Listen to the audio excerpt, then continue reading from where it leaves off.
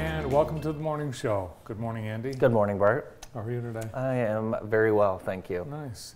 40 degrees in Jackson. It should be a very nice day with partly sunny skies, and I have 47, which is uh, nearly 10 degrees above normal. It's uh, elevated my mood. Last night it was uh, nice and mild too. I, along with uh, T. Gerwick and our own Adam Bragenzer, went to Night Lights. Oh, neat. We'll have that segment for you uh, next week. Adam got to ride the train all by himself. It was so cool. Yeah. So if you uh, haven't had a chance, please uh, book the Night Lights Express. It's awesome. We had an opportunity to go check it out last night, and it is very, very cool. So Adam riding in the train by himself, his choice or someone else's? his choice. Okay. his choice. I would have I would have ridden with him, but um, as you know, I had a, a little head cold and I didn't want to make that any worse. So I let Adam ride by himself. And You he feeling told better? me I'm feeling great. Dishwasher fixed? No, I didn't have time because I was out at night lights. Oh. So, you know, I think we're gonna wash the dishes by hand until the first of the year. Um, well, we're not going to be using our bathroom for a while. Oh my God, I heard about that. I mean, this is just the Hawley family's on one the Mm-hmm. last couple weeks. So, A bat. yeah, I'm glad I wasn't here to help with that. So, thank you for not calling me so early to help with the bat. In the past, bats have, uh, we've seen them in like day or night. Yeah, This was a morning bat. Are you familiar with, I believe it's the North Mansion on Stonewall? Yes. Okay. Uh, some friends of mine uh, growing up were friends with the owners of that house, uh, the Olynyks, you might remember. Yes. And Lucas and I went over there many, many times to with tennis rackets to try and get bats out of that house for his mother's friend who lived there who was afraid of bats. So um, that's my bat story. Everyone's afraid of bats. Yeah, everyone is. So uh, you get a chance to um, go to Night Lights tonight. Also, you could go to Lights of Love, Mm-hmm. and that's happening at the hospital. And it's sponsored by American One Credit Union and True Community Credit Union. It starts at six o'clock. Nice ceremony to honor those with uh, light. Uh, people have uh, remembered their loved ones with Mm-hmm. lights that will glow throughout the holiday season. I'll be there. Mm -hmm. I will be there, and I believe it starts at six o'clock. Correct? I'll be there as well. Wonderful, Yes. wonderful. I'll be in gym clothes. I hope that's okay. We'll be coming from basketball practice. That's fine. That's okay. Good. Also today, it's Pearl Harbor Day, as we remember Pearl Harbor in uh, 1941, December 7th. Uh, Japanese bombers descended on uh, Pearl Harbor, a surprise Sunday morning attack. 28 Michigan uh, service people were killed in the attack, and they are remembered with USS Arizona, the Michigan State of Michigan Memorial uh, of USS Arizona, and that ceremony will be at one o'clock today. It's at the Cascades in the memorial area, Very good. just off High Street at Denton. So one o'clock, all are welcome for a short ceremony. Hey, how about Brayden Lape? The kid did it again. Yes, Brayden is headed to the finale of NBC's The Voice. Uh, not a surprise to me. And I think, you know, the way NBC did it, um, they, uh, Carson Daly said, we're going to now uh, reveal the names uh, throughout the show of the uh, four, four uh, finalists, plus the fifth person by an instant save. So Brayden was fourth out of the four, and I think NBC did it on purpose because they know he's a big draw for Of course. ratings. So they waited till the last possible minute. He was announced halfway through the show, and he, along with Bryce Leatherwood, uh, Morgan Myles, Bodie, and Bodie and Bryce are also on Team Blake. And Bodie sang with, didn't they sing together last night? Uh, no, Oh. Monday night. See, that's why, Yeah. yeah, I shouldn't even try and say Omar Jose Cardano, the person uh, with the instant save. So five will compete for the championship. The winner of The Voice gets that title, plus $100,000 and a recording contract with Universal Music Group. Yeah, so, you know, and I think even if uh, Brayden doesn't win, he'll still, he'll still be able to get that 100K and a record deal. No, I'm I think he's going to, uh, he's going to do it, so. Mm-hmm. Yeah, very cool. good luck. Exciting. So that finals, that'll be next week, correct? Yeah, Monday. Awesome. It's a two-hour live finale, part one, and then on Tuesday the live finale, part two. Two. Very good. So when all the confetti will drop, um, filling Oh, I hope he Brayden's here. wins. I hope he wins. That would too. be we so all cool. hope he wins. So cool. So remember, next Monday, uh, vote during the show and after the show. Vote, vote for Brayden. And I think he's been getting. I bet I would not be surprised if he's been the top vote getter. I, I think he's probably is. I mean, from what I can tell, he is. Uh, he's kind of the heartthrob of the show. So, uh, hope he wins. That'd be awesome. Yeah, last week we were talking about. Uh, well, all month we talk about uh, charity giving back. Last week we were talking about stuff a cop car that happened last weekend. I wanted to show you a few pics from stuff a cop car. We had. Uh, there was a lot, a lot of food donated um, from Pol- or at Polly's, and that was last weekend. These are the uh, sheriff's deputies that helped out, and uh, they stuffed more than one car. They had to bring a second car, and uh, look at this pile of food. Well, a cop car has so much equipment in it to begin with. Look at that! Look at all that food. Wow.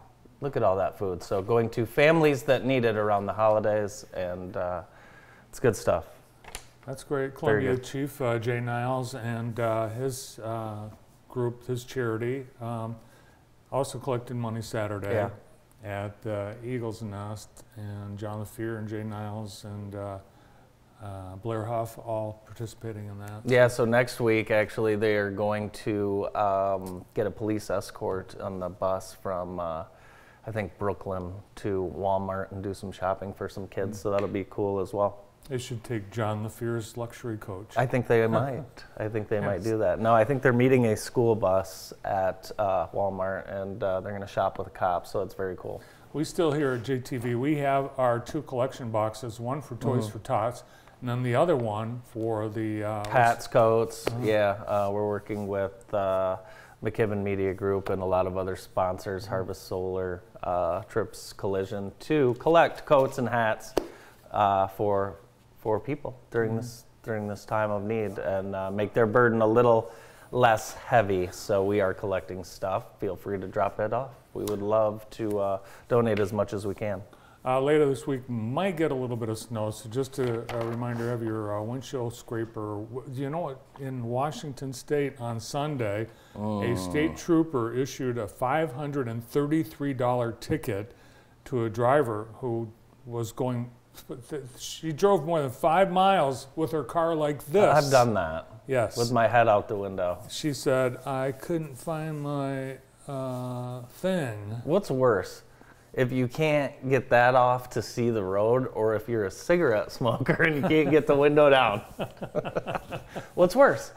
I don't know what's worse. I always think of Dumb and Dumber where uh, Jim Carrey's driving with his head out the window. That's right. But uh, I think one of my- everyone in Michigan has done something like this a little bit. Yeah, it's one of my pet peeves when I see people just scrape a little like a head-sized hole uh, on the windshield so they can see. It's not. It's not safe. No.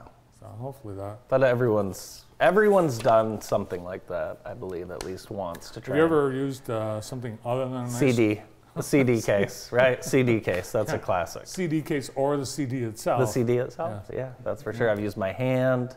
Uh, yeah, uh, never, never do I have a ice scraper when I need one. Mhm. I've seen a woman using the bottom of her high heel. I've seen that as well. I've seen that as well.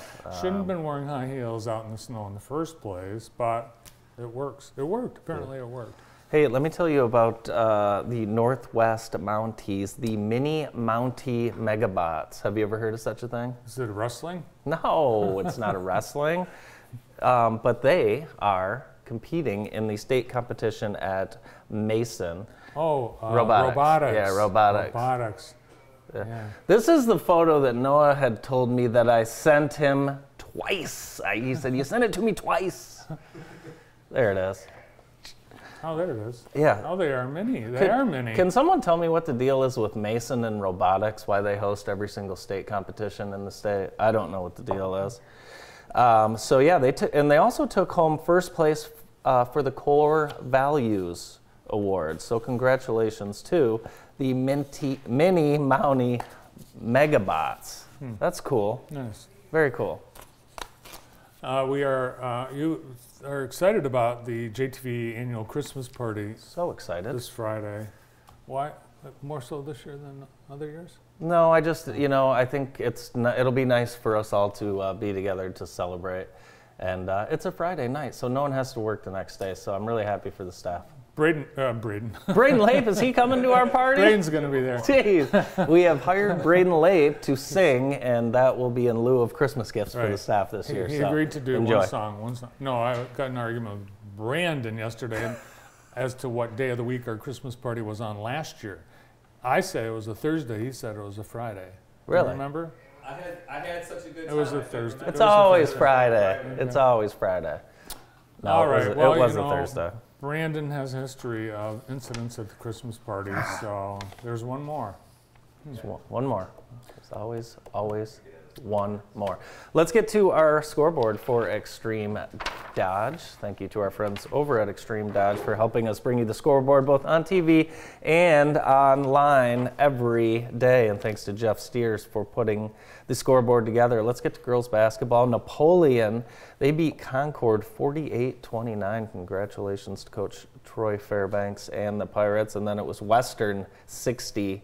Grass Lake 45, and Northwest 48, Mason 24, Jackson 47, Lansing Eastern 37. Over in boys basketball, Adrian took care of Grass Lake, Battle Creek knocked off Jackson, Springport fell to Leslie, Vandercook Lake over Summerfield, and then Chelsea with a very, very big win over Western by 25. Again, it's early in the year. Uh, let's see what's happening tonight on deck tonight. Boys basketball, Napoleon at Columbia Central. That should be a pretty good game. And then Onsted at Hanover Horton. Another really good game. Good basketball tonight. Girls basketball, Jackson Christian at Waldron. And then we've got some wrestling, bowling, and then Jackson United will host Lenawee United over at Optimist at 5:30 tonight. So tons of things to do. Northwest at Papa Quad. I went to school with Papa Quad. Really? I'll be darned. Today's show being brought to you by Vermeulen's Home Furnishings. New furniture for Christmas? Why not? Vermeulen's, over uh, 75 years, three generations, serving our community with qui- quality furniture, uh, incredible design service, and uh, awesome service to the community, thanks to Vermeulen's. Who's on the show today? Today we've got a great show. We're going to get things started with Tim Rogers, who's the CEO of the Enterprise Group, right after this break.